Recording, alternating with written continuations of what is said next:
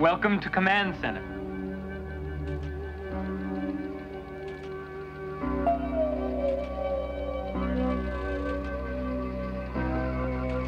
Come on, come on, you're gonna love it.